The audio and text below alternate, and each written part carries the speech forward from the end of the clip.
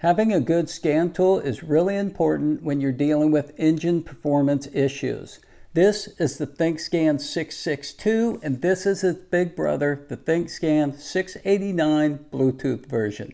They both come with lifetime updates and they're both bi-directional scan tools.